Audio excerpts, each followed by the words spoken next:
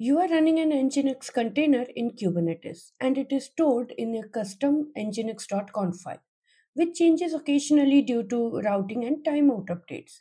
But it must be updated without rebuilding the container image. How would you configure this in Kubernetes?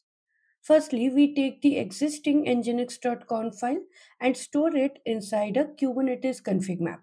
This allows Kubernetes to manage the configuration separately from the container image.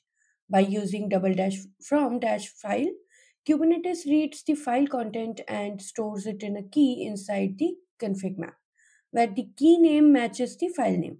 Next, we mount the config map into the container file system using a volume. This is done so the Nginx can read the configuration file from its expected path. We use subpath to mount only the nginx.conf file instead of replacing the entire etc nginx directory which could break default Nginx file. So, when the pod starts, Kubernetes mounts the config map key as a file inside the container. Nginx reads nginx.conf from the mounted path, and the application starts using the externally provided configuration. When the config map is updated, the file inside the container is updated by Kubernetes.